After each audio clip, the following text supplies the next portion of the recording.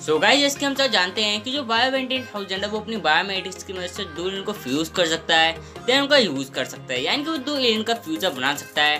और जैसे कि मैंने अपने चैनल पर हँसी फ्यूजन एलियन की शुरू शुरू की है, जिसमें मैं हँसी फ्यूजन एलियन को शो करता हूँ। और उसी में आगे बढ़ते हुए आज के इस वीडियो में हम देखने वाले हैं रैक के कुछ अंशी फ्यूजन्स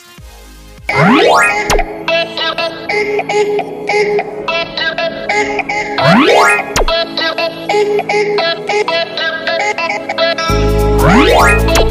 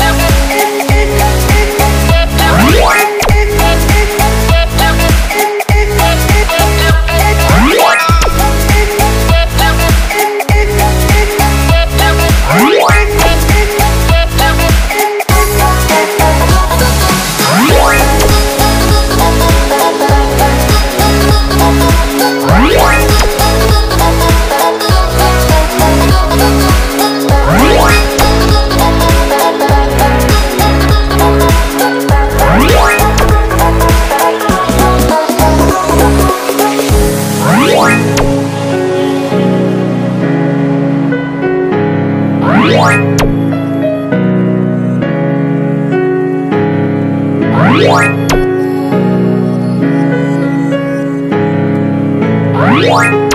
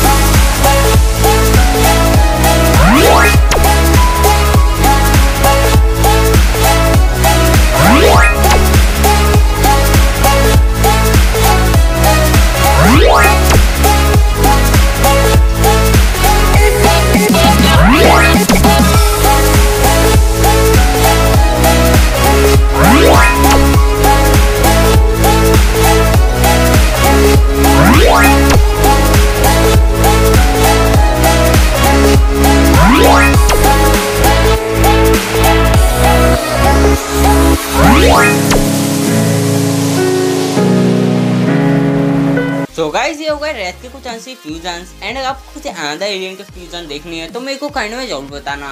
एंड हाँ इस वीडियो को लाइक कर देना, अपने दोस्तों के साथ में शेयर कर देना इस चैनल को ज़रूर सब्सक्राइब करना।